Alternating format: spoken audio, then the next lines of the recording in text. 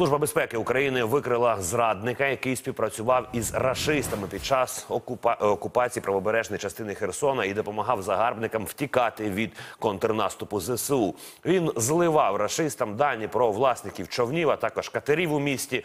Але окупанти не забрали з собою свого поплічника, а тому він виїхав до родичів у Миколаївську область, де намагався сховатися від правосуддя.